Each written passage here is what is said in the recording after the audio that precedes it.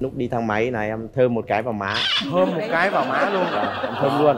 Lúc đấy là cũng chưa chưa tỏ tình. Có bị gì chống cự không? Có lúc đấy có thấy hay là có gì không? Nếu như là bình thường thì phản ứng sẽ là như vậy nhưng mà Ừ. hôm đấy không hiểu tại sao tự Đứng hình em lại đơ luôn. À. đứng đơ luôn không nói được gì. Hai đứa đã xác định là chia tay rồi. Trong là về một thời gian là xuất hiện cái thằng cu con.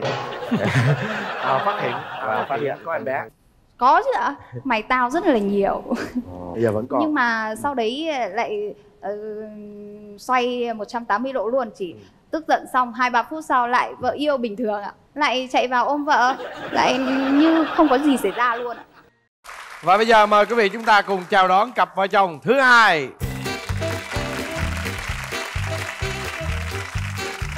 Chào hai em. À, mời hai em giới thiệu về mình. Vâng ờ, xin- chào chị Hồng Vân và anh Quốc Thuận. Xin chào quý vị khán giả. Ờ, em ờ, tên thật là Trần Đình Tiệp ạ. Em ở Bắc Ninh ạ. Năm nay là em 29 tuổi. Nè đồng hương với tôi đấy nhé chú nhé à vâng. Ừ Bắc Ninh chú ở chỗ nào? Em ở Yên Phong ạ. Yên Phong hả? Vâng. chị ở à, chùa Dận á à chùa dặn thì cách em mười mấy cây đó chùa Dận á trời ơi đó gặp ông ngay ông đồng hương anh Ờ, giới thiệu đi Dạ, xin chào chị Ông Vân, chào anh Quốc Thuận, chào tất cả quý vị khán giả. Em tên là Trần Thị Luật, em đến từ Sơn La và hiện nay em đang sinh sống ở Bắc Ninh ạ, quê chồng ạ. à, À. theo chồng về về là về Vinh đó phải không về Vâng. Bắc Ninh ở Sơn À, La Sơn La nhưng mà Ừ. có biết hát quan họ không em? Em biết hát vài câu thôi ạ. Hát một vài Ờ, câu hát đi, đi, hát cho thử nghe coi nào. không khí lên coi. ừ Dạ. Ngồi rằng là ngồi tựa ý à, có mây màn ơi ơ thuyền là ngồi tựa à, màn thuyền. ấy mây đêm là đêm mới hôm qua. hay lắm bài đấy. này, ngồi tựa mặn cái thuyền. bài này chị hát trong neo biết đại chiến rồi phải không? ừ đúng rồi đúng rồi đúng rồi đúng rồi. Luật nói là luật ờ, làm công việc gì? Dạ hiện nay là em đang làm à, nhân viên à, bán hàng này, làm à, kế toán này, làm trợ lý này, kiêm à, bà nội trợ này, uh, oxy các trợ Quá luôn giỏi luôn. Đó. Hai em là đi từ Bắc Ninh vào trong ờ, Sài Gòn tham gia quay chương trình này. Vâng, đây là lần đầu tiên em được đi máy bay và lần đầu được vào Sài Gòn ạ. Ồ, đó quý vị thấy chưa? Có như một cặp vợ chồng đến từ Bắc Ninh xa xôi như thế mà đã vào để mà tham gia chương trình vợ chồng son. Chính vì thế, chương trình vợ chồng son luôn luôn chào đón tất cả các cặp vợ chồng ở mọi miền đất nước. Cho nên là ai muốn tham gia là cứ mạnh dạn cứ đăng ký tham gia để gặp chị Vân và anh Quốc Thuận là sẵn sàng là chào đón các bạn ha. Rồi, hai em lần đầu tiên gặp nhau là như thế nào? ngày xưa là vợ em là mình có học lớp 11 ạ thì vợ em à, lên trên Hà Nội này gọi là lên chơi thôi thế là gặp nhau lúc đấy thì biết nhau thôi ạ chưa có yêu thương gì nhau ừ nhưng nhau. mà đi lên bạn lên Hà Nội rồi em cũng lên Hà Nội em là sinh viên ạ sau mãi nữa là mấy năm sau rồi mới mới lại tiếp xúc nhiều thì mới thích ừ. Thế còn em thì sao? Ừ, em thì rồi. có có một ấn tượng gì đặc biệt đối với anh này không? Dạ, lần đầu gặp thì em có ấn tượng là nhìn anh này cũng thư sinh. Tóc lúc đấy là để tóc dài, đeo kính ạ.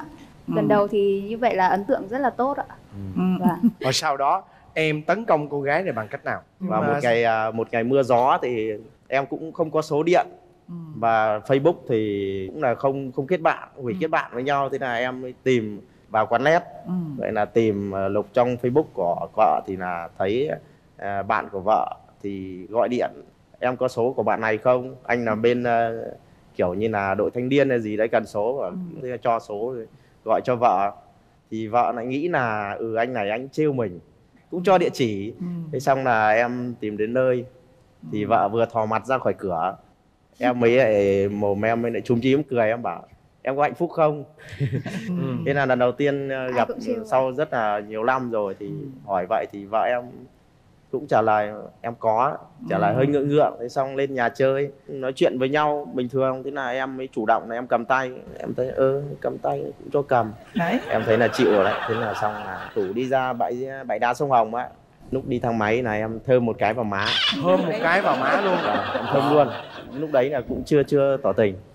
Có bị chống cự không có Lúc đấy có thấy hay là có gì không nếu như là bình thường thì phản ứng sẽ là như vậy nhưng mà Ừ. hôm đấy không hiểu tại sao Đứng hình em luôn. lại đơ luôn cứng đơ luôn không nói được gì mà chỉ đỏ bừng mặt lên thôi và chỉ cười ngượng ấy, không nói được câu gì ạ và đó là cái cái đó là cái nụ thơm đầu tiên đó phải không đúng rồi ạ ôi. khi mà ra bãi giữa sông Hồng ấy Ừ. ở trên một cái tròi rất là cao hôm đấy là vào một buổi chiều mùa đông mưa lất phớt ôi trời ơi rất là lãng mạn luôn Ờ, thế là tự Tới nhiên luôn. Tự nhiên anh đấy tiến tới ôm và hôn luôn. Ừ. Ờ, nói là yêu anh nhé.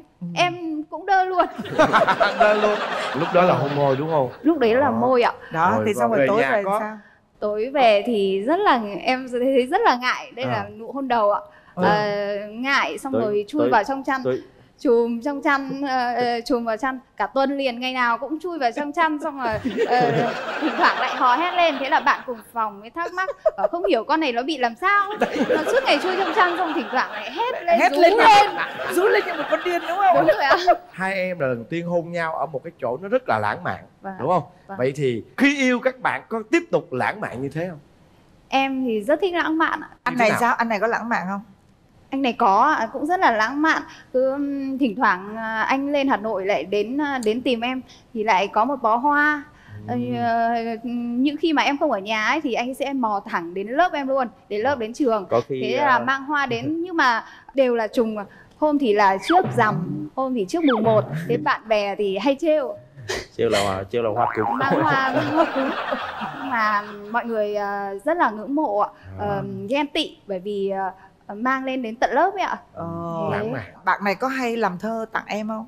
Dạ có ạ chúng em thì rất hay làm thơ, thơ thì ờ, đối đáp để nhau. mà nói hay về nhau thì ít nhưng chủ yếu là kiểu như là em thấy vợ mà đăng thơ lên face hay là gì kêu ca thì nói chung là viết cái tút gì á mà em cứ thấy không hài lòng hoặc là tiêu cực cái gì là là em thôi. tức là thì thơ bình luận luôn bằng thơ hai vợ chồng đối đáp nhau luôn bằng thơ giống như mượn mây đẩy trăng á đúng không? Không có Vâng. nói thẳng ra luôn á. Đúng rồi Đâu? ạ khi tức giận hay có gì bức xúc cũng lại làm, cũng làm thơ. thơ. Anh quá ích kỷ nhỏ nhen. Hứa lên hứa xuống hẹn em còn gì. Đúng là như mới dậy thì thay đổi tâm lý nói gì cũng sai. Đã thế còn thích nói dài. À, thôi thì anh chót thế anh cài tai phone. Thế là anh ấy lại tiếp tục. Đâu em nói thì ờ, thế thì xong là em lại nghĩ ra luôn em làm luôn là em này giận quá mất khôn. Tự nhiên lại cứ sồn sồn với anh đành rằng em rất lành chanh nhưng phải hiểu rõ ngọn ngành chứ em. Đã vậy anh sẽ không thèm. Cùng em đạp vịt ăn kem tây hồ. Trước trước trước cái bài thơ đấy là vợ em là có nhắc đến cái chuyện là hứa hứa cho đi đạp vịt cho đi ăn À. kem rồi là không, không đi chưa chưa có thời gian đi. Dễ thương quá luôn á. Bây giờ là các em là từ lúc quen nhau đến lúc cưới nhau là bao lâu?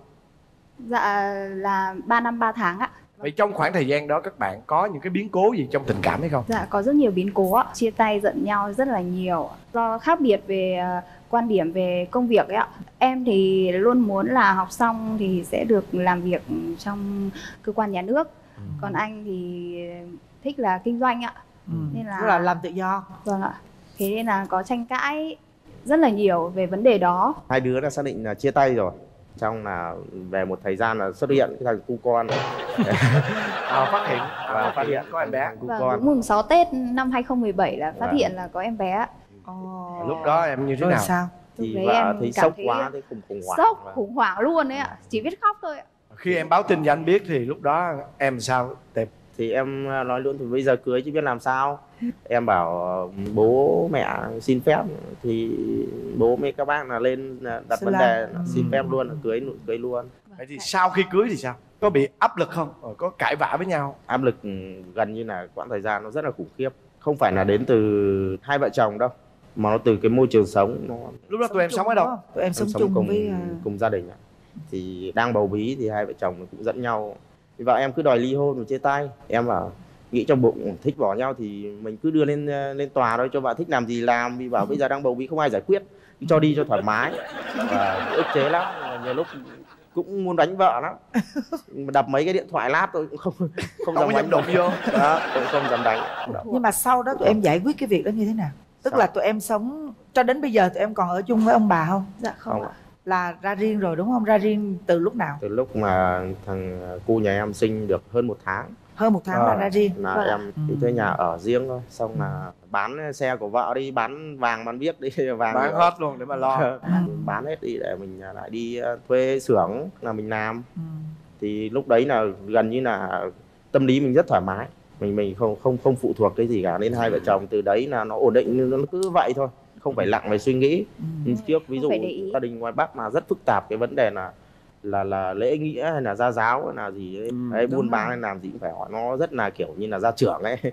kiểu như không liên quan gì đến việc kinh doanh nhưng mà là con là cái là vẫn phải hỏi. Là phải báo được cáo. phép thì mới cho làm. Mà. Ừ. khổ như thế. Vậy bây giờ vợ chồng em ở với nhau được à, bao bao lâu rồi? Dạ hai năm năm tháng rồi. hai năm. Chồng em vừa mới nói từ gia trưởng đó. Dạ. vậy anh muốn hỏi bây giờ sẵn tiện là khui luôn cái tật xấu nè. À bây giờ chồng em có gia trưởng hay không? Đấy là tật xấu đầu tiên đấy ạ. Tật xấu đầu tiên. Đậm chất luôn ạ. Chồng em cực kỳ gia trưởng luôn. Rất là hay áp đặt. Khi nào mà vợ nói lại thì lại bảo em cứ nghe lời đi nghe lời chồng không thiệt đâu. Thế là em lại răm rắp làm theo. Ừ. Ừ. còn tật xấu tật xấu hàng ngày thì vô cùng nhiều luôn ạ. Trước tiên là phải kể đến là bẩn. Ừ, thời tiết ờ, ở ngoài bắc ạ có những hôm lên đến 39 40 độ mà ba bốn ngày chồng em không tắm luôn. Đi làm đi làm về toát hết mồ hôi lại cứ thế leo lên giường ngủ. Là mùa hè đó đúng không? Mùa hè vậy 39 thì 40 chúng ta độ. có thể suy ra được là mùa đông là ổng không tắm một tháng luôn đó. Mùa đông thì nếu mà không nịnh không dục thì sẽ hiếm khi tắm lắm ạ. Rồi còn tật xấu gì thêm nữa? Hay cáu gắt nóng nảy hay hay hay nói tục nữa tục cứ khi nào tức giận lên là lại nói tục. Có mày tao với vợ không? có chứ ạ. Mày tao rất là nhiều.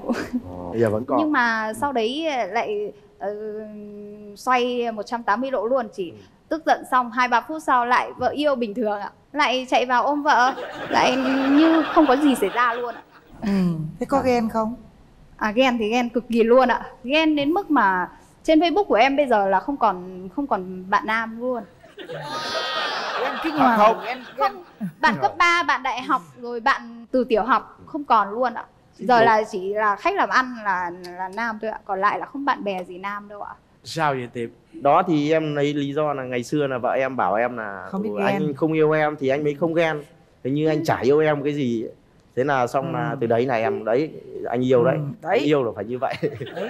Đó cho anh giải thích biết đó. đấy, ừ cho Mị biết là tôi ghen như thế. Ừ. rồi bây giờ tới em đó tiệp à, vợ em có tật xấu gì không? Vợ em à? Ngủ muộn này rồi là ngủ dậy muộn. Ừ. và ngủ dậy có khi là 11 giờ ngủ, ngủ mới ngủ dậy. Bao hoặc là tức là 8 9 giờ ngủ dậy là bình thường rồi. Mà nhà nhà thì lại rất nhiều công việc. Cộng mấy lại là mình chỉ sạch cái chỗ ổ của mình thôi. Còn lại những cái bừa bãi công việc thì không không không không dọn không quan tâm. Vợ có hay quan tâm đến cái cảm xúc của em không vợ em thì rất là cũng rất là quan tâm.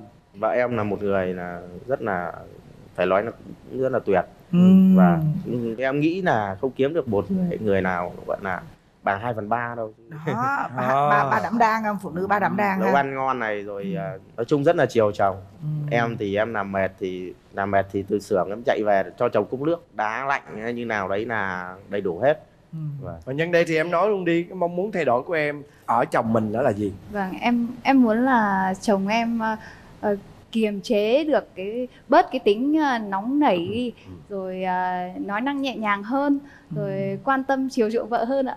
Thế còn tiệp thì sao? Em chỉ muốn à, vợ em là hiểu thêm về chồng à, về công việc của chồng để mà thông cảm. Những lúc mà ừ, cái áp lực cuộc sống công việc nó quá nhiều ạ không có thời gian Ừ. những lúc rảnh rỗi thì lại bình thường Ừ. Nhưng mà em không phải là người cáu giận s- xong là cả ngày hoặc là cả tiếng hoặc là 15 phút sau chỉ một lúc thôi. chỉ cần hai ba phút sau thôi Ừ. Ừ, thế là xong lại thì thôi lại- bớt mày tao đi lại- không lại- mày tao nữa ừ. ừ.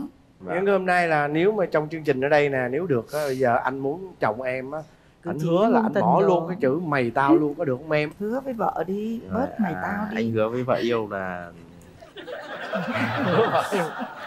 tôi anh không còn sẽ kêu mày tao nữa. không à, hạn chế cái lời Hạn chế. nó không hay trong trong à, cuộc sống gia đình. Cùng xây dựng hạnh phúc nó bền vững hơn và phát triển hơn cùng à, nuôi dạy con tốt hơn. Đấy. đó rồi xin à, cảm ơn hai em đã đến với chương trình vợ chồng son ha. Vâng. chúc hai em luôn luôn hạnh phúc nha. Và xin Ừ, cảm ơn anh chị cảm ơn à, khán giả các cô gái mà thấy vợ em xuất hiện là nhiều khi còn hăm. Bởi oánh vợ em luôn. Ôi ôi yeah. thế hả? vậy luôn hả Trang? sau đó con thấy trời ơi xong vợ con bảo sao mới gặp anh sớm hơn thì tốt. Thật ra sau này con đâu có lấy tiền đâu. Ờ, lấy sao được? Con lấy nguyên cái cuộc À. đời ta rồi. Hồi nãy con con nói cái vụ mà mà có người mà chọc con mà gọi là chọc cho con phát ghen lên đó mà con không thèm ghen á. Dạ đúng rồi, vợ chồng con ở nhà thì bạn đó qua nhà chơi. Bạn đó đi tự nhiên xông thẳng vô nhà xong chạy lại ôm hôn anh Tuân Và bây giờ xin mời quý vị chúng ta cùng đến với à, một câu chuyện tình yêu, một câu chuyện hôn nhân của cặp vợ chồng số 1 à, Chào. Trời ơi bữa nay em có đối thủ rồi. Đó đây thực ngồi đi cưng. Mời. ngồi đi. Thôi bây giờ trước tiên chúng ta giới thiệu về mình đi nào à, lời đầu tiên cho phép A Tuân và Quỳnh Trang à, xin được à, gửi lời chào đến à, cô Hồng Vân anh Quốc Thuận và tất cả quý khán thính giả đang theo dõi chương trình Vợ chồng son. À. lời chào trân trọng. A Tuân hiện tại đang làm à, chuyên gia xử lý khủng hoảng truyền thông cho các tập đoàn. À, rồi à, có một công ty giải trí riêng. Và trước đây thì là ca nhạc sĩ tuổi A Tuân là 36 tuổi ạ. 36 tuổi. 36 nhìn chững chạc ghê không? Ừ. Rồi mời vợ của A Tân Dạ, à, con xin chào cô Hồng Vân và anh Phúc Thần ạ.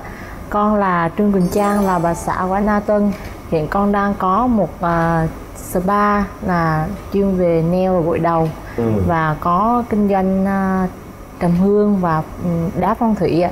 Ừ. Trang nhiêu Ồ. tuổi rồi con? Dạ con nhỏ lắm. Con năm nay là 26 ạ. Thôi bây giờ chúng ta bắt đầu từ cái giây phút đầu tiên mà các bạn chạm mặt nhau đúng rồi. À, lần đầu tiên các bạn gặp nhau và Gặp có ấn nhau. tượng gì về nhau? Dạ lần đầu gặp nhau là con có ngày xưa con có công ty mỹ phẩm.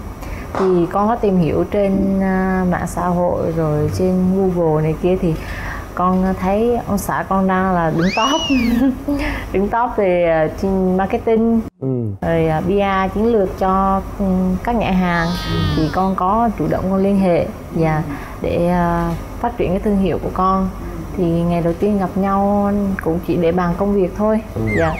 Thế là xong sau đó hốt con luôn. Sau đó thì hốt con. Nhưng mà ngày đầu tiên khi mà con nói chuyện với anh con ờ, cảm nhận anh là con người như thế nào?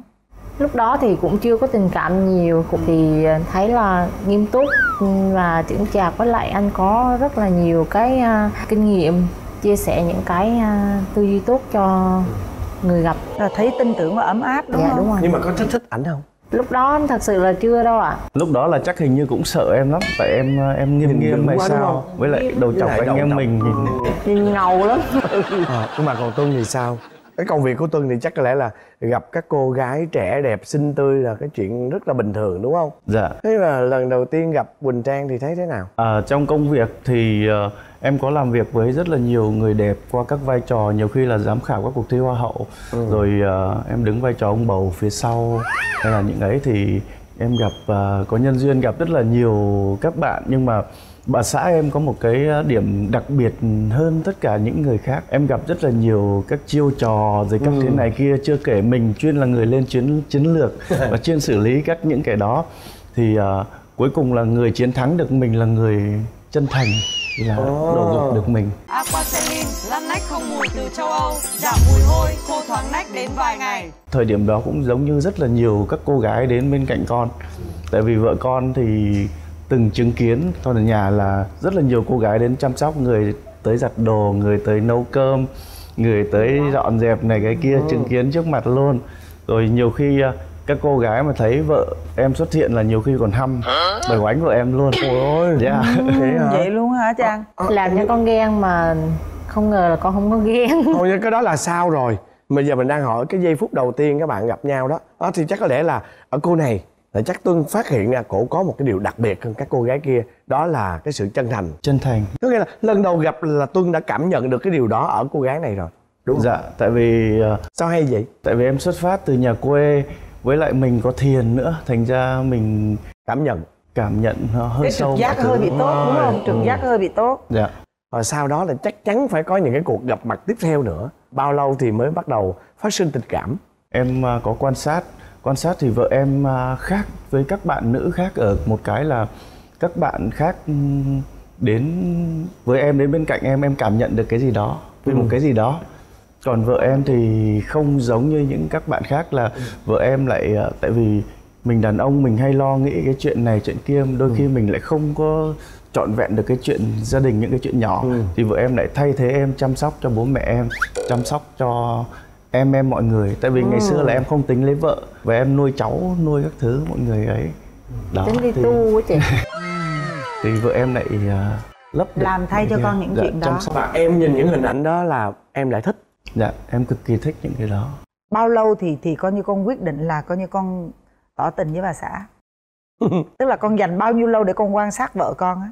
Con nghĩ là con à, con con sống khá là thuận tự nhiên á rồi để mọi thứ nó đến nó cũng Không có à, tỏ cũng, tình cũng rất là tự nhiên.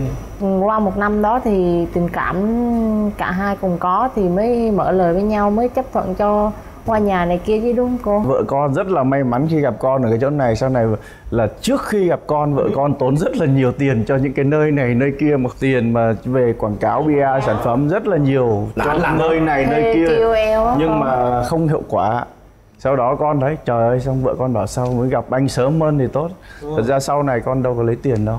Ờ, lấy sao được? Con lấy nguyên cái cuộc À. đời ta rồi. Vậy thì khi mà quen một cái người mà lớn tuổi hơn mình lại là một người rất thành công đó, và là một cái người mà thường xuyên tiếp xúc với các mỹ nữ. Làm trong nghề này thì gia đình của Quỳnh Trang á. Có e e có sợ không? Có e có, ngại có, không?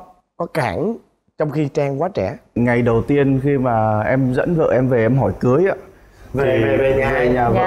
á À. má vợ có bảo là nhìn con phong độ như thế này rồi gái con theo con nhiều rồi làm sao mà con thương nó lâu được sao Làm mà sao con chung thủy ờ, được. chung thủy được thế này mà sao mà cưới được rồi con có hứa là chắc chắn là con sẽ yêu với ờ, lo cho nó thứ không thì con chỉ trả lời là con không thích hứa tính của con không thích hứa tại nói thì ai cũng nói được. Bây giờ con có thể nói ôi con thương lắm. Ai cũng thể miệng ai cũng thể nói, Nói được. hết. dạ mà quan trọng là vợ con sống có xứng đáng với con không?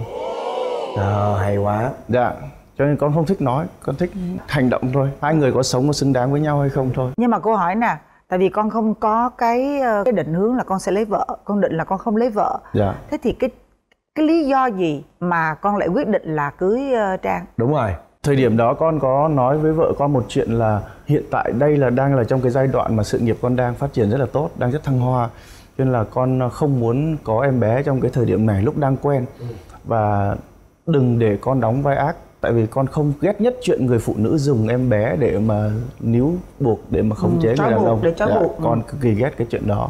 Đúng là mọi thứ của cuộc đời con thì vận hành hoàn toàn theo tâm linh. Trong một lần về à, Bình Phước á, Bình Phước có một cái đền thờ tự nhiên bốc cái lá thăm. Thăm lại ghi rất là rõ là người tu được phước trời cho năm sau sẽ có quý tử nối ngôi. Và tự nhiên lá thăm đó là biết là năm sau có con trai rồi. Và tự nhiên năm sau có bầu thật có có con trai thật là Simba nhà mình á cô. Simba mà nó giống y chang Tuân ừ. Vui lắm Facebook mà hai cha con giống nhau mắc cười muốn chết luôn á lúc nó còn nhỏ đó. Hai cái đầu trọc lóc y chang nhau vậy đó. Chị có, có theo dõi Facebook em có thấy là từ khi mình cưới vợ thì cuộc sống của mình nó thay đổi hơn rất nhiều không? Nó có nó có hai mặt anh ạ. À, từ khi có vợ thì em bắt đầu em phải thích nghi một cái chuyện mà cũng hơi khó hơi khó là ngày xưa có rất là nhiều phụ nữ quan tâm theo đuổi rất là nhiều phụ nữ hay chăm sóc cho mình từ khi lấy vợ vào đấy bắt đầu các cô không dám chăm sóc nữa. Thì đúng rồi sao dám? Dạ cũng cả một thời gian mới à, gọi là thích nghi được với cái mới điều thích đó. nghi được cái cảm xúc đó dạ, đúng với không cái cái đó. Nhưng mà còn trang thì sao? Hồi nãy con con nói cái vụ mà mà có người mà chọc con mà gọi là chọc cho con phát ghen lên đó mà con không thèm ghen á. Dạ đúng rồi. Vợ chồng có ở nhà thì bạn nó qua nhà chơi. Xong rồi lúc đó chưa phải là vợ chồng. Ừ. dạ lúc đó gọi là là mới. sống thử. mới gọi là có cảm tình có thương nhau. Bạn nó đi tự nhiên xông thẳng vô nhà xong chạy lại ôm hôn anh Tuân. Cái xong lúc đó phản ứng của trang sao? Con bình thường đi ra ngoài rửa chén quét nhà. Ai thích làm gì làm. Bạn đó là rất là rất là thích em. Bạn đó là một trong những bạn rất là thích em nhưng mà bạn đó cứ nghĩ là đó là cảm giác chiến thắng đó là cái rất là dở. Hoặc là ví dụ mà có qua bên nhà em cái là xong bạn đó chụp một tấm hình bức cửa sổ xong bạn ấy đăng lên facebook là một đêm hạnh phúc đó có những rất là nhiều trò. Thế em ngồi ngồi em mới cười trời ơi chỉ có chân thành mới hạ gục được em thôi chứ chiêu trò này chẳng có giá trị gì với em cả. Đây không phải là người mà à, dạ, và thế là cái lên. cô Dạ. thế là cái cô gái mà đi quét nhà với rửa chén á, là dính đó. Đúng rồi. là chân thành đó. Ừ ok. Đây là người phụ nữ mà chảnh nhất trong những người phụ nữ mà con từng gặp. Chảnh với con nhất. Ờ. nhưng mà mình lại yêu cái đó. Dạ, ghê em chứ thích đúng cái không? đó. nhưng mà Dạ. chảnh nhưng mà chân thành. Chảnh nhưng chân thành. Cái gì Đúng không của em? mình nó Đó. nó sẽ là của mình. Đó. rồi bây giờ hai đứa ở với nhau được mấy năm rồi con? Tụi con là từ à, 2018 4 năm. Nó nghe nè nghe. Tới đây sẽ là đến cái phần gọi là khui cái tật xấu. Sao sao cái cặp này em nghi là ông Tuân này? Ông không có quá ta đâu cứ để trang nói. Đó Sao thế có? ông chững chạc có không có chạc anh. Có mà khui đi chứ. Có cái tật ừ, ca nhạc sĩ mà ban ngày thì không có đánh đàn hát hò đâu. Ừ. cái ban đêm 12 giờ 1 giờ sáng. Trời ơi. Cầm guitar hát ính ỏi trong nhà. À, giấc trưa thì cầm guitar đi khắp hành lang trong ừ, nơi ở hát hò vô thang máy cái âm thanh ở kia hành lang nó vọng nó rất là đã ôm đàn hát trời nó sướng lắm. Nhưng mà bà con người ta thích không Tuân chung cư cực kỳ khoái em. Ờ. Trời chung cư lại mê em lắm. Ông mang cái năng lượng tích cực đến cho mọi người năng lượng yêu đời mà cái đó là ban ngày thôi chứ còn ban đêm mình cũng buồn ngủ muốn chết đi á hát có thù em nhạc cô ạ. Suốt ngày nói em có thù với âm nhạc mà không phải. Rất là khó chịu. Rồi còn gì nữa không? Không biết có khó tính không ta? Khó chứ cực kỳ khó. Dễ với người ngoài nhanh nhưng mà khó với người nhà đặc biệt là vợ luôn. Ví dụ khó những cái cái Ừ, cái cái, cái khó sao? khó những cái tính là như thế nào từ cách ăn cách nói cách mặc tất tật tật tật khó với con á đúng không dạ. không? Không không phải là khó với vợ con mà con có một cái nguyên tắc chung của cuộc đời con. Ở bên cạnh con tuyệt đối không được nói ngôn ngữ tiêu cực. Con cực kỳ ghét con căm thù cái điều đó. Đó ví dụ buồn thì không được nói buồn. Phải nói là không vui chưa vui. Não mình sẽ in cái từ vui trong đầu. Đó là năng lượng tích cực. Nó sẽ cho Hay mình quá. Ừ. năng lượng và chữa lành được bệnh tật. Đó nó rất là trí tuệ. Đó những cái khó khăn của em thật ra nếu mà áp dụng cực kỳ định tại vì chữa được bệnh tật nó mang năng lượng để để mà làm động lực được cho mọi người. Còn khi mà nếu mà suốt ngày buồn chán nghĩ những cái tiêu cực thì sẽ không làm được cái gì. Ê, nó nghe nè anh suy nghĩ cái thời gian đầu về ở chung chắc trang áp lực lắm đúng không? Chưa thích nghi anh. Ờ và luôn luôn là bị bị coi như là bị coi như là là đang nói xong cái ổng ổng sửa lưng hả? Dạ. Đó là khó chịu chịu lắm không? hoài khó chịu. Ờ nhưng mà ăn mặc thì sao? Ăn mặc có có có khó khăn ăn mặc thì ờ, kín đáo nhưng mà phải tinh tế Ừ. không có hở hang hay là khoe da khoe thịt đại khái là như vậy. À Có nhạc sĩ chắc là không? lãng mạn lắm chị. Nhạc tại vì ổng no, no, no, no, Không no, lãng no. mạn. không hề. Ai cũng nghĩ là nghệ sĩ là lãng mạn lắm này kia nhưng mà không hề. Lãng nhất hả? Tại em lãng mạn em bị bắt bài rồi. Em là không thích tặng hoa tại vì ngày nào nhà em cũng là ngày lễ, ngày tết hết, ngày nào cũng là ngày vui. Thế cho nên là không không có nằm trong cái ở cứ tới ngày này là phải là lễ. Đó, rồi ví dụ mà em hay có những cái ví dụ vợ ơi tối nay chồng không về nhá chồng đi qua đêm nhá. Xong lù lù em đứng trước cổng về cái trước cho bà bất ngờ. Mà hình như bà Bà bắt bài được. Sau rồi. này bà ấy không bất ngờ nữa. Tại vì tại vì cứ như bị hoài đúng không? Một hai lần đầu thì ok mình tin ha. Đúng rồi bực lúc đầu bực lắm. đi bực. lên đi, đi, đi, đi, xong. Về xuất hiện sau là khỏi thôi ơi bắt bài hết rồi. Vậy con con con mong mỏi a, a, a tuân thay đổi cái gì? Thực ra thì um, cuộc sống vợ chồng con hiện tại cũng rất là vui vẻ. Dạ tại vì sau thời gian dài thì mình cũng đã thích nghi mình cũng đã cái gì đúng sai thì mình cũng đã học hỏi và chịu thay đổi. Hiện tại là mình đã sửa đổi rất là nhiều nên thành ra mong lúc nào cũng vui vẻ như vậy được rồi. Bây giờ tới Con- tuần đó. Ừ đó con vợ con còn có cái tật ờ, tật nào chưa tốt mình không nói tật xấu nha. Nào thôi, thôi, thôi, không được nói chữ không đó được nói là- đó. À, thật ra thì ờ, đặc tính thì phái nữ là thích thích nói hơi nhiều một xíu. Thì con nghĩ cái đó cũng không phải là tật xấu chỉ là đôi khi những lúc con ờ, không chưa hay thôi nghe những cái chưa hay xung thôi. quanh thôi. Đó dạ, không phải tật xấu đâu mà là Dạ. tật chưa hay có nghĩa là Dạ. thông qua cái cái cái cách nói của tuân thì cô hiểu là con hơi cằn nhằn cằn đúng không? Hơi cằn nhằn. Ừ. nhưng mà sau này thì hầu như không cần nhằn nữa có một cái điều này là rất đặc biệt của vợ em. Có những cái trường hợp là vì công việc vì ờ, những cái mối quan hệ và công việc của em nó nó rất đặc trưng rất đặc biệt. Thế cho nên là có những lúc ví dụ như ờ, có những cái trường hợp là em kể một câu câu chuyện này là có, có đợt con đi tiếp khách cái cô thì có một cái cô em gái mưa cái cô mới nhắn tin cho vợ con. Cô nhắn tin bảo là chị ơi anh Tuân đang ở trong kia có phụ nữ mà có dấu hiệu không lành mạnh. Đó. Xong rồi vợ con mới nhắn tin cho cô lại cô đó là bình thường mà em đàn ông đi tiếp khách mà. Xong về mới nói lại với con là anh nên coi lại con em của anh con này không xài được nó bán đứng anh à Hay đó là quá. một cái ờ, đức tính rất là đặc biệt đúng không ừ. vậy giờ con có mong muốn vợ con thay đổi điều gì nữa không tuân con thì ờ, chỉ mong là mỗi ngày mình cố gắng ờ, hoàn thiện hơn thôi đừng có dễ dãi với bản thân mình quá rồi thôi bây giờ thực sự á, là theo cái trí tưởng tượng của cô á, là gia đình con tương đối là gọi là không phải là là đại chúng đâu nha Ừ. một cái gia đình tương đối là đặc biệt so với tất cả các cặp gia đình Dạ. khác. Chồng của con vừa như là một người chồng vừa như là một ông thầy một người thầy và vừa như một người cha của con. Đúng nhưng rồi. mà có đôi lúc lại như là một đứa con nít ở bên cạnh con đúng không? đúng không? Hỉ nộ ái ố đủ cả là- đúng không? Đó. lâu lâu em thử con thử cho ghen mà mà không ghen nha. Có những lúc ví dụ ờ, con đi nha cho con đi luôn. Kệ không gọi về bao giờ chán thì con về. Ví dụ mà với tính tính của con nó cũng ngược nữa. Ví dụ mà cằn nhằn là con đi luôn. Đó mà ví dụ mà con đang đi với bạn bè đi với mọi người chỉ cần nhắn mỗi cái tin trời ơi mình nhớ chồng mình quá là trời ơi mình nhớ chồng mình quá là quá là con mò về. Đó thì chồng vợ con thì đang ở chơi cái chiến thuật gọi là Nhu, nhu thắng không, cương. gọi là ừ, ừ, lạc mềm buộc chặt. Đó. đó, kiểu vậy đó. À và hy vọng rằng là hai bạn sẽ luôn luôn tạo những cái nguồn năng lượng tích cực hơn nữa dành cho không không chỉ là dành cho mình mà còn dành cho tất cả cho mọi, người xung quanh. rồi. Đặc Dạ, cảm ơn là vợ chồng Hoa Tương đã đến Dạ. đây. Tự nhiên lúc đó con cảm thấy rất là bình an cho nên con biết cái nốt trên anh đó là con thích ảnh. Ảnh mới trả lời lại quên ảnh đi quên ảnh đi. Tại vì anh nói là ảnh anh ấy chưa sẵn sàng và ảnh à, ảnh mới chia tay bạn gái khoảng chừng 4 năm tháng trước. Là xác định là con sẽ ráng chờ thêm 2 năm nữa. Rồi sao? Lần đầu tiên chạm mặt nhau nó làm sao? Con đã đếm từng ngày rồi cho nên con con thật sự rất là mong chờ cái ngày được gặp. Có những cái mà sai luôn tìm cách cái gì đó để hợp thức hóa biện bạo biện bạo biện là mình đúng. Ừ. em vừa nói đó vợ em rất là thông minh. Thì cái đó là cái thông minh. Và bây giờ xin mời quý vị chúng ta cùng nghe tiếp câu chuyện tình yêu của cặp vợ chồng số 2 mời quý vị dành một tràng pháo tay đón chào họ.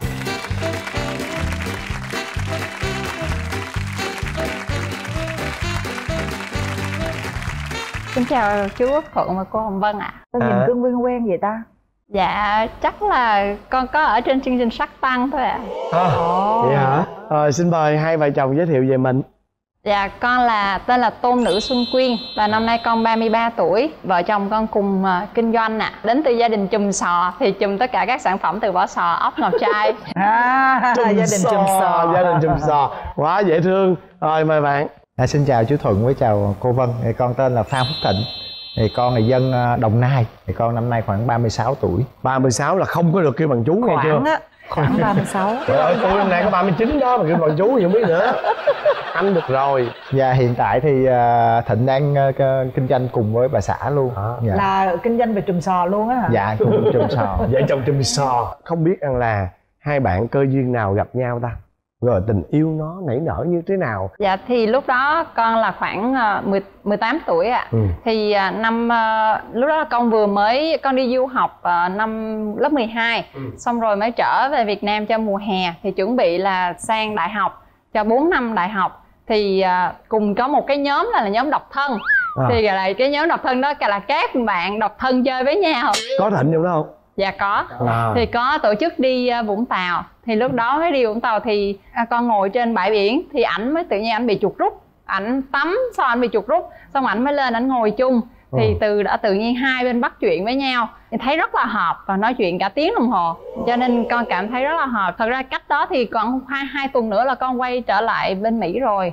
Thì con mới con mới nói là vậy thì có thể ngày mai thì à, anh có đi hẹn chơi với em không ngày hôm sau thì con rủ anh đi đánh cầu lông là tự nhiên cái cuộc hẹn đó tưởng là chỉ có một tiếng nhưng mà thành ra nó chơi năm sáu tiếng đồng hồ Quá và nói luôn. chuyện suốt luôn và và tự nhiên cảm thấy quá rất Quá là hợp. hợp luôn Ừ. tự nhiên lúc đó con cảm thấy rất là bình an cho nên con biết cái nốt trên anh đó là con thích ảnh ảnh mới trả lời lại quên ảnh đi quên ảnh đi tại vì anh nói là ảnh anh ấy chưa sẵn sàng và ảnh à, ảnh mới chia tay bạn gái khoảng chừng 4 năm tháng trước thì à, cái câu mới nhắn lại với ảnh đó là vậy thì khi nào anh sẵn sàng á, thì anh báo với em.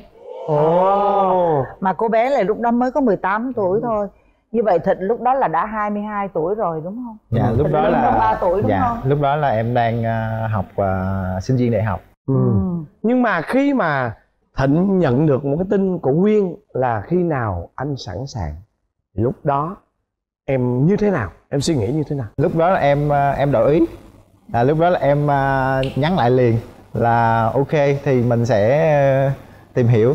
Nhưng mà lúc đó là em rất vui đúng không? Rất vui rất chứ nếu như em nhận được cái tin thôi vậy thôi nghe anh. Hoặc là im re luôn là chắc chắn rằng là thôi là cô ấy bay đi luôn rồi đó. Thì là buồn đó. Nhưng mà thật ra đó cũng là lần đầu tiên mà con dám nói. Chứ hồi trước đó là thích ai thì con phải chờ một năm sau để mình coi coi mình còn thích người ta hay không thì mới dám nói rồi như vậy là chấp nhận tìm hiểu xa. Ừ lúc đó là yêu xa mấy năm cưng là khoảng uh, 4 năm á.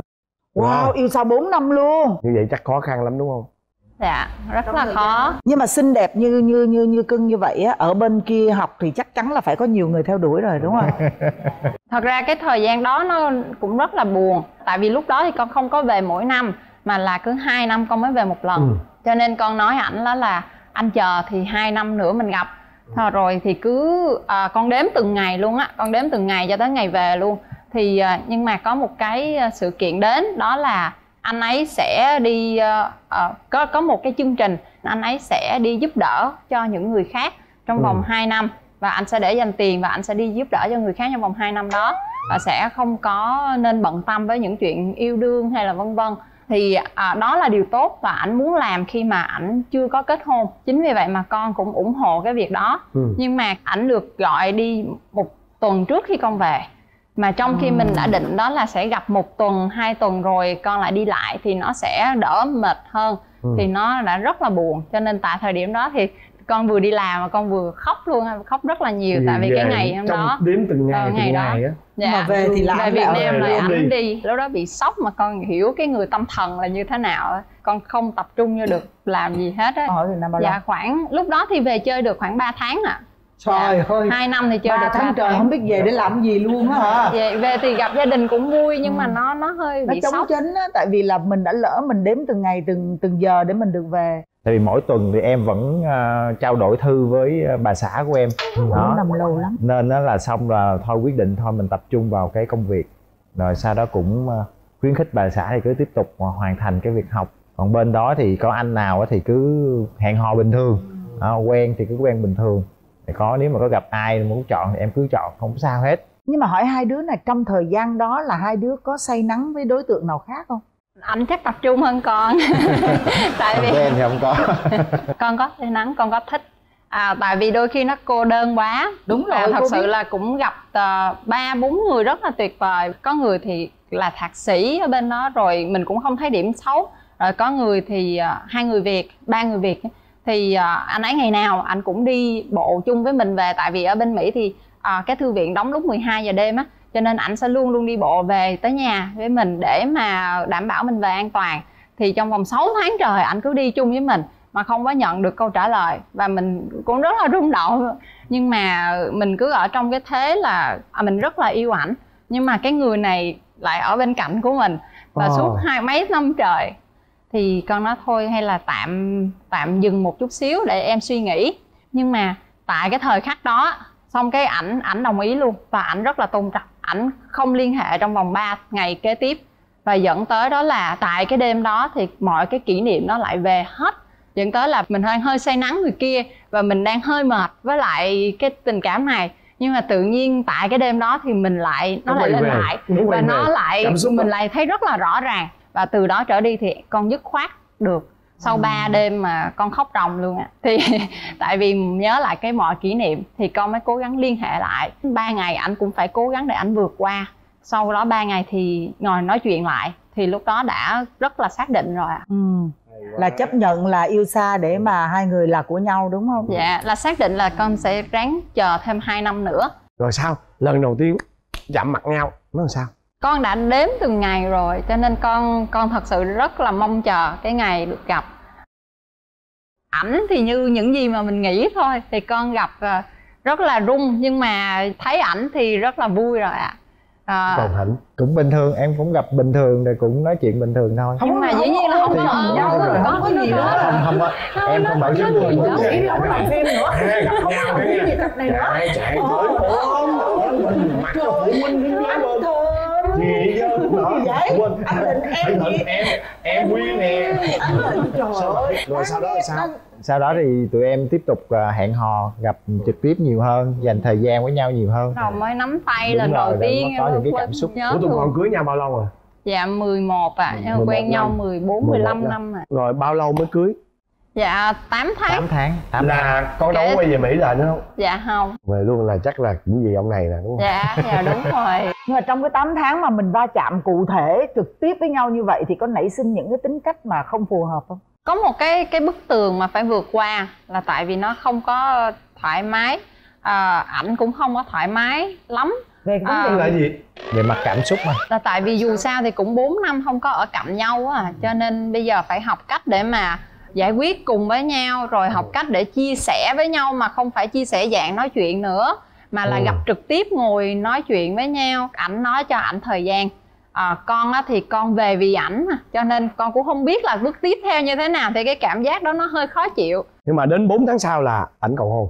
Dạ. Và cái bức tường đó chắc tôi nghĩ là nó nó cái xây bức nó tường cao đó tới là khoảng đâu tháng trước à. đó. Bao nhiêu lâu thì đập đập được cái bức tường đó? chắc chừng tháng. Khoảng 2 tháng lấy nhau xong về là có con liền không? Hay là đi chơi bời đã đời rồi mới có con?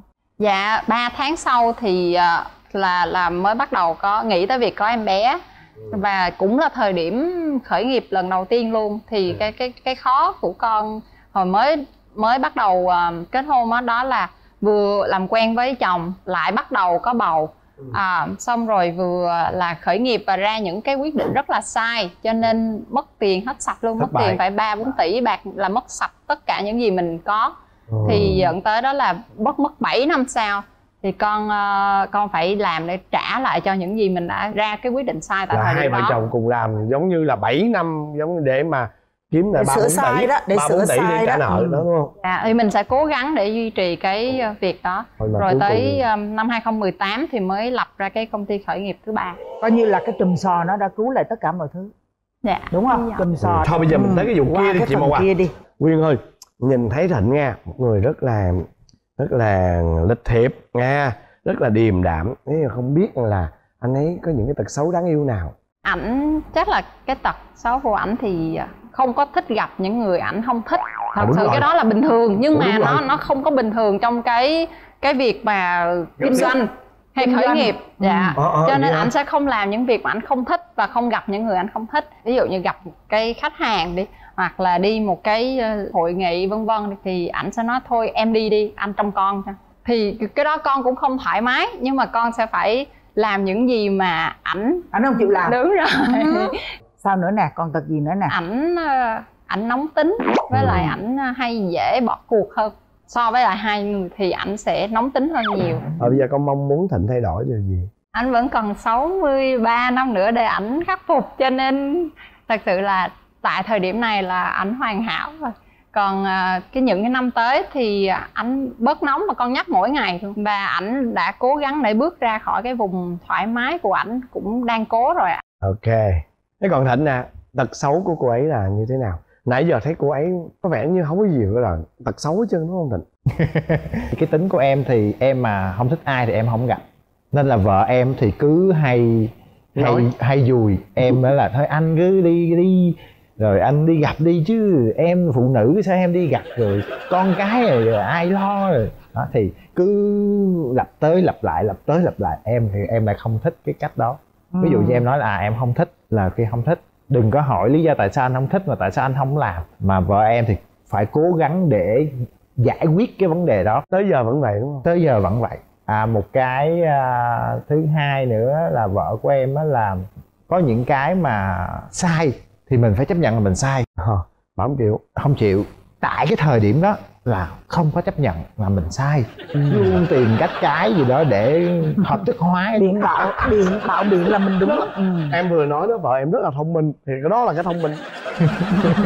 Thì với em thì chỉ có có ghen không? Có ghen không? À không vợ không có ghen. Mà em thì đôi khi em sẽ ghen một tí với à, vợ của em. Tại vì vợ em thì thỉnh thoảng cũng à, đi gặp rồi cũng ờ, gặp người này người kia. Tại vì trong giới làm ăn mà đó thì đôi lúc thì cũng có một tí xíu ghen nhưng mà đó là lâu rồi xa xưa rồi. Còn bây giờ thì cứ thoải mái.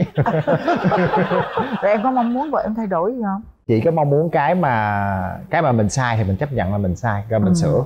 Cái đó là cái mà em mong muốn thôi. Em biết em nhiều khuyết điểm lắm ạ. Em ờ, em mới làm mất chiếc nhẫn anh tặng em hay quên. À, anh mới tặng có một đó. tuần à cho nên ảnh anh tự nhiên là mất rồi. Ồ, với lại ờ, đôi khi bận quá cho nên cũng ờ, để để con chơi điện thoại hơi nhiều. Thì cho nên em biết đó là em nhiều khuyết điểm lắm ạ. Ừ. chị thấy gì nè tụi em á tụi em là đang là rơi vào trường hợp gì biết không? Hai người giỏi ở chung một nhà đó. Thực sự em không biết đâu hai người mà cùng giỏi ở chung một nhà để mà hòa thuận được với nhau để mà có thể song hành được với nhau á là một điều rất là khó. Ừ. khó mà phải từ hà cả hai người đều phải hiểu được cái điều đó và để nhịn những lúc nào đáng nhịn cái đó là chị nói thiệt. Ờ, nhưng mà rất may là vợ em là cũng thuộc tiếp người gọi là biết mềm á biết mềm dẻo đúng lúc á. Đó, để có thể chế ngự được em Đúng chứ rồi. em là tánh em cũng nóng lắm. Nói chung là cảm ơn các bạn. À, Các bạn vừa kể cho anh và chị Vân nghe một cái chuyện tình rất là đẹp. Và các bạn sinh ra là để cho nhau. Và anh chỉ mong rằng là ờ, trong cuộc sống hai bạn sẽ càng yêu nhau hơn Và có thật nhiều sức khỏe Và và cùng phát triển thương hiệu mà cái thương Chùm hiệu sò. chùm sò này lên một cái hàng top luôn nha à, xin cảm ơn nhiên xuống thấy anh này thư sinh đeo mắt kiến rồi da trắng bàn tay thì còn mịn hơn bàn tay con gái nữa em thấy ờ, công tử bột quá à. em em cảm thấy không không không có cảm tình không có lắm. cảm tình lúc đó dạ tụi em được bốn bé rồi. À, trời ơi, cái ờ, cô bếp cổ đi về quê mẹ đem đồ ăn về mẹ nói ờ, liên bữa nay con nấu ăn nha. Trời em xanh lét mặt mày hết. Em nói anh ơi hết rồi giờ sao anh? Và bây giờ mời quý vị chúng ta hãy dành một tràng pháo tay để cùng chào đón cặp vợ chồng đầu tiên.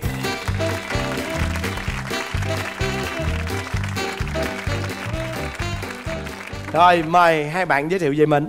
Dạ em tên là Nguyễn Châu Đắc Tú Dạ em 35 tuổi Hiện ở nhà là kinh doanh nhà trọ ở Bình Dương chị Thế còn em? Dạ, em là Trần Thị Kim Liên, mà em nay 32 tuổi. Em đến từ Bình Dương. À. Em ờ, ở nhà giữ ờ, mấy bé với lại đi phụ ông xã dạy võ. phụ ông xã gì Ông xã em dạy võ. Võ gì em? Dạ võ cổ truyền Việt Nam à cổ nè, truyền vô Việt Nam hả Dạ không ờ, võ thiếu lâm ờ, thiếu lâm mà cổ truyền của Việt Nam Dạ. Bây giờ anh có một lời đề nghị nha. Bây giờ em em biểu diễn giùm anh một vài thế được không? Dạ Rồi bắt đầu. Dạ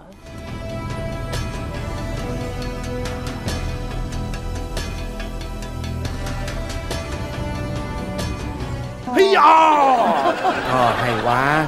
Bây giờ hỏi võ sư nghe. Dạ Lần đầu tiên Tú gặp bạn gái của mình là ở đâu? Tụi em biết nhau là nhờ người bà con Ừ. Mai mối Ấn tượng đầu tiên thì em thấy cô này ờ, Người gì mà sao mà trắng vậy Cừ có răng khểnh giống mình á Mới gặp thì mình có hảo cảm rất nhiều Mình có À. thiện cảm còn em em gặp ảnh sao Cái gu của em nào giờ là phải ờ, dân thể thao hoặc là chơi bóng đá, bóng chuyền.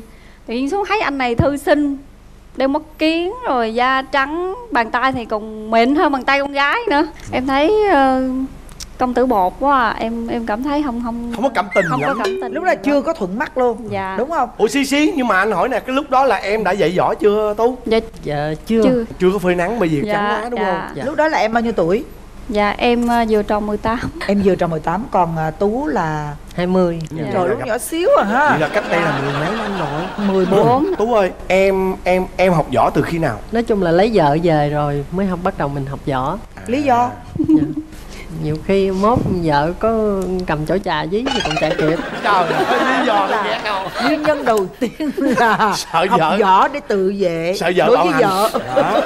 nãy cái chi tiết là gì nè em phụ cho chồng dạy võ là phụ Dạ. gì hay Em là cũng dạy phụ luôn. chồng dạy luôn dạ, em luôn? cũng vậy luôn Là em cũng biết võ luôn Dạ. Wow Mà lý do gì em học võ?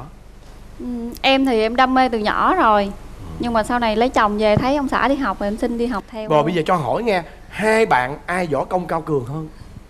khi mà lên sân khấu đấu thì anh hy sinh chết nhiều nhất. Là anh hy sinh chết trước em đúng không? Nhưng mà Dạ. thực sự mà thực sự ra là ai nội Anh- công thâm hậu hơn? anh giỏi hơn. Là đúng không? Dạ. ủa mà lúc đó chưa nắm tay ta biết ờ, nắm tay ta sao biết tay ta em mình- nhìn qua cái bàn tay ảnh thấy bàn tay anh đẹp. Vậy thì làm sao mà hai bạn đến được với nhau? Không ưa mà đã không thích mà. Nhưng mà qua nhiều lần tiếp xúc với lại là ờ, hai đứa có đi chơi đi uống cà phê thì cảm thấy anh này chu đáo. Ờ. và quan tâm dữ lắm. Cái gì tốt đẹp nhất thì đều nhường cho em hết. À. nên là ha, em thấy um, người này tốt với mình quá. Với lại cái động lực nhiều nhất của em là em cảm thấy ờ, gia đình bên anh tú á, ba mẹ rất là hạnh phúc. Ừ. à. dạ nên là em cảm thấy ngưỡng mộ lắm. Em muốn là một thành viên trong gia đình À. từ khi mà lúc tiếp xúc được với ba mẹ. Nhưng mà quen nhau lâu không rồi mới đám cưới? Dạ cũng lâu. Lâu à? Bốn tháng. bốn lâu quá ha. Ôi bốn tháng trời lâu Dạ, chưa- chưa tính. tháng mới đám cưới. Cách đây bao lâu rồi ta? Dạ 14 năm chị dạ. mà nó nghe nè Dạ. tình yêu mà có 4 tháng mà đã đám cưới luôn rồi. Ừ. vậy thì cái mức độ thân thiện của tụi em cái mức độ mà gia chạm của các em á là tới đâu? Đám hỏi xong. Ừ. là hai đứa thì mới được phép thì lúc đó là làm đám xong rồi vô nằm nghỉ ngơi trong buồng. Ừ. thì lúc đó là mới da chạm nhẹ là ôm hôn. Không hôn. Thôi còn cái gì là để lại cho đêm tân hôn đúng không? Dạ. Vậy đêm tân hôn nó có đặc biệt không? Đêm tân hôn ờ, anh tú làm lãng mạn lắm. Em thấy ờ, như trong phim hoa hồng rải ờ, trên giường rồi nến thơm. Em nói trời xong bước vô mở cửa vô cái phòng ngủ đẹp quá mà anh chuẩn bị đâu hồi nào á em đâu có Ờ. biết đâu. Với lại một cái đầm ngủ thiệt là đẹp để đó. Ảnh ờ, cầu hôn ngay trong đêm tân hôn. Ảnh nói ờ, bây giờ bé chịu làm vợ anh chưa? Trời Vậy ơi là- cưới ta rồi mà hỏi câu hỏi một cái câu mà thiệt á hỏi cho con ờ, hỏi cho con chứ lúc đó mà tỷ dụ nó không em không chịu bây giờ làm còn sao? không lẽ trả nhẫn lại. Sao cái lời cầu hôn đó là những cái gì nó diễn ra trơn tru không em dạ cũng tạm tạm. Dạ lần đầu mà anh. Cũng chật vật chứ. Lúc đó bé mới 20 bé này 18 biết cái Tại gì vì mà không hai chật đứa vật. là lần đầu tiên của nhau đúng không? Dạ chắc đúng chắn rồi. luôn. Rồi hai đứa có con chưa? Dạ tụi em được bốn bé rồi. Trời đứa ơi, luôn lâu lắm rồi mới tê lâu lắm rồi chị mới tính nói câu đó đó. Bốn đứa mà phọt đứa nào cũng ngon lành hết trơn vậy thiệt. Nhìn tụi em giống như mới cưới hồi hôn vậy đó. Dạ. Rồi đứa lớn nhất là mấy tuổi dạ đứa lớn nhất là 10 tuổi bé 10 gái. tuổi rồi 4 năm sau mới mới mới, mới có dạ con. bốn năm Ồ. sau. Năm 2008 em có một lần có em bé nhưng mà bị hư. Ờ. Rồi lần đó em là em buồn khủng khiếp luôn mà. Cảm thấy mình y như là người vô dụng á. Tự nhiên mình có em bé mà mình không có giữ được á. Ờ. Ờ. nhưng mà lý do tại là mình không biết hay sao? Mình à, biết là có em bé nhưng mà mình không có nhẹ nhàng không có nghỉ ngơi nhiều á.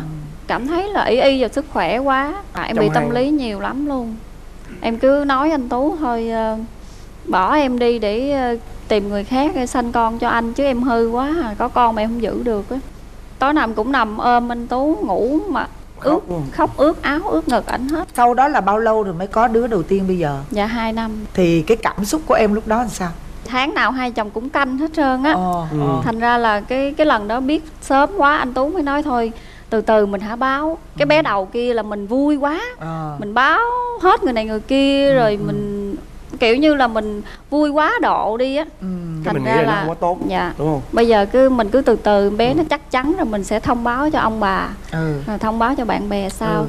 rồi bé đầu xong rồi bé ờ, tiếp tục ờ, là bao lâu mới có? Dạ em có liền luôn. Em không dám ra được cái ra hoài luôn. Dạ. Đúng rồi chín tháng sau á là ra nữa? Dạ. Rồi cái đứa thứ ba? Đứa thứ ba thì em em cảm giác là ngưng lại thời gian là 2 năm. Hai năm. Dạ. Rồi cái bé thứ tư? Là 3 năm. Năm một. Năm năm hai năm ba. Chưa có năm đại học. Còn bây giờ có có có tiếp nữa không? Hay ngưng rồi. Anh tú nói năm sau 5 tuổi anh là đẻ con gái út ừ, nó ẩn tuổi cha tốt lắm á. À, dụ em hoài có nghĩa là thêm đứa nữa là đặt tên là đại học.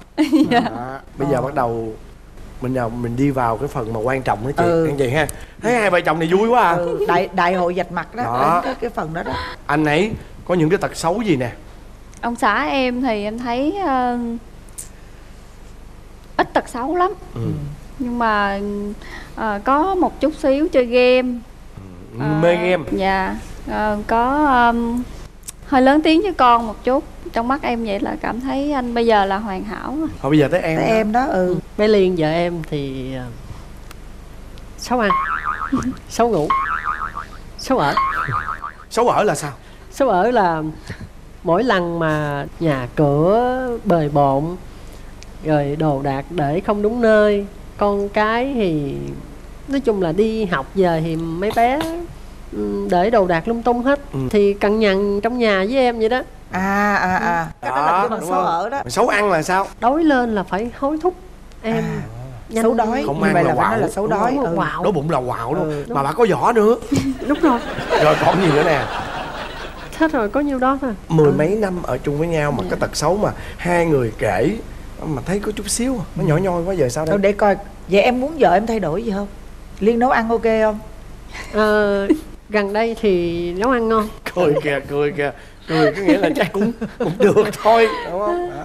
có một lần là hồi đó mới cưới là em chưa có biết nấu ăn. Cái ờ, cô bếp cổ đi về quê, mẹ đem đồ ăn về, mẹ nói ờ, liên bữa nay con nấu ăn nha. Trời, em xanh lét mặt mày hết. Em nói, anh ơi, hết rồi, giờ sao anh? Rồi cái anh nói, để anh. Anh xuống anh nấu một phút 30 giây xong xuôi hết. Vậy là tú nấu ăn ngon. Dạ nấu ăn Wow. giỏi bưng lên cái ba mẹ ăn ba mẹ nói yên liên bữa nay nấu ăn được cái ta? Ôi ôi vậy ai đó. ngờ đâu hai chồng ngồi cười tủm tỉm lần đầu tiên ba mẹ biết điều này. Ờ, bây giờ ba Ồ, mẹ mới biết. coi như là một bí mật giấu mười mấy năm bữa nay bây mới hoài ra. rồi đó. Nhưng mà giờ con dâu đã nấu ăn được. À. Vậy sao? Giờ liên liên muốn tú thay đổi điều gì? Em chỉ muốn ờ, ông xã em giữ gìn sức khỏe ờ, ngủ đúng giấc rồi ăn đúng giờ với lại ờ, có dạy con thì nhỏ nhỏ đừng lớn tiếng với con nhiều quá. Rồi tú có mong liên thay đổi gì không? Dạ không có đâu Giữ vậy gì? thôi đó hả? Giữ nguyên giữ vậy nguyên đó hả? cũ. À. trời ơi cái cặp này tôi nói thế là quá đặc biệt luôn á trời ạ.